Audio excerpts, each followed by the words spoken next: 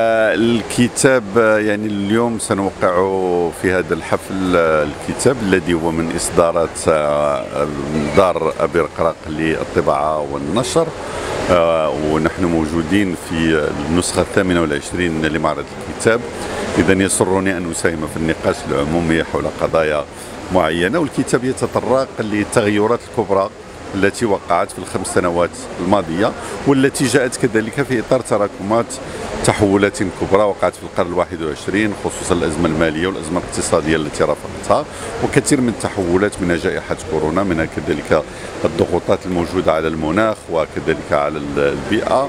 في إطار الحرب أوكرانيا وفي إطار كذلك ما يواجه العالم من أزمة اقتصادية ومن تضخم والتحولات التي عرفها المغرب كذلك في تفاعل سواء مع محيطه القريب ومحيطه البعيد.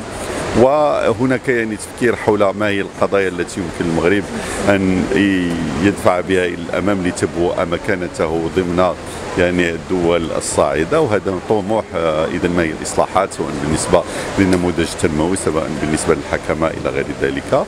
ماذا يمكن أن يقوم به من أجل أن يكون يعني له جوار دول الجوار والعلاقات مع دول الجوار هذه وكذلك أن تكون في إطار تصور رابح رابح. كذلك يعني الفضاءات الممكن الفضاءات المهمة بالنسبة للمغرب التي هي استراتيجية سواء البحر الأبيض المتوسط الساحل أو المحيط الأطلسي.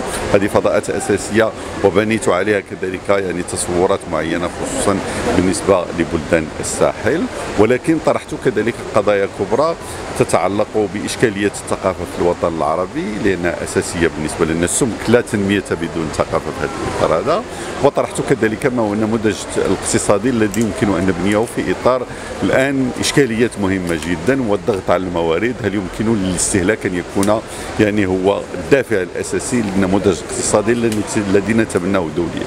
وكذلك هناك قلق متزايد على المستوى الدولي من اثار التغيرات المناخية إلى غير ذلك وهذا يطرح علينا أكثر من علامة استفهام فيما يخص مؤشر التنمية البشرية، المؤشر التنمية البشرية نعم يعني التعلم نعم الصحة والولوج إليها إلى غير ذلك ولكن هل الولوج إلى الموارد بأكثر كما يقع في الدول الغنية هو مؤشر على التنمية البشرية والتنمية المستدامة؟ ربما العكس هو الذي هو صحيح لأنه كلما كان هناك أقل ضغط على هذه الموارد كلما يعني نضمن وجودا يعني غير مقلق للبشرية على وجه الأرض. إذا لابد أن نغير المفاهيم فيما يخص هذا.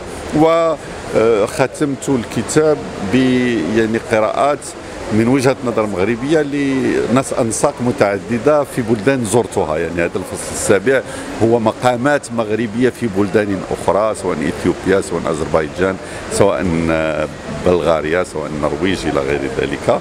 اذا هو كتاب متكامل من هذا الإطار يعطي أنساق متعددة وقراءات في إطار واحد المقاربة اللي هي آه، نيو يعني ما بعد كولونالية ما بعد حداثية إلى غير ذلك في إطار الاهتمام بالثقافة المغربية الأصيلة بالتفرد المغربي ولكن في إطار واحد الكينونة يعني الدولية ديال أو كونية.